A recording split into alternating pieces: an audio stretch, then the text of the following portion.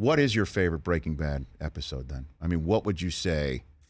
That's it. That episode right there was number one for me.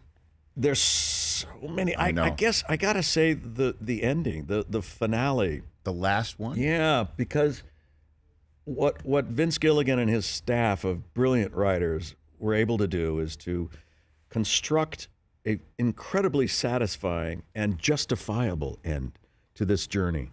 Um, he became a cancer of his own, and ostensibly, when he created that Gatling gun in the in the trunk of the car, he was committing suicide because he knew he was going to be in that room himself, and that's the way he was going to end it. And that's what ha- that happened. He killed himself at the end.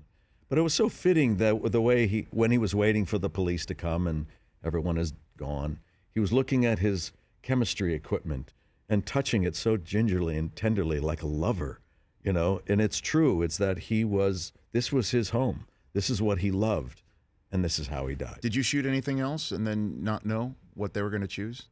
Or you knew it? No, we knew. We knew the ending, know. but it was kept under wraps, and we Sure weren't able to talk about it. And it Well, I was very satisfying. I mean, I asked that of uh, many fans, fellow fans of Breaking Bad too.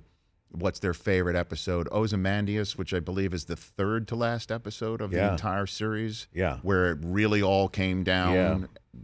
The hit- it hit the stuff. fan, It hit the fan, and then the the the train episode. yeah. So many people mentioned the episode involving the train, where there was a, a, a big caper to try and get some chemicals off the train. We stole the methylamine out of the train. Yeah, yeah. It's it, it's amazing what they were able to do, and you know, six years, sixty-two episodes. Um, it will be the the opening line in my obituary, whenever that will be. Hopefully, not too soon. right. And I'll be happy to to not have seen that.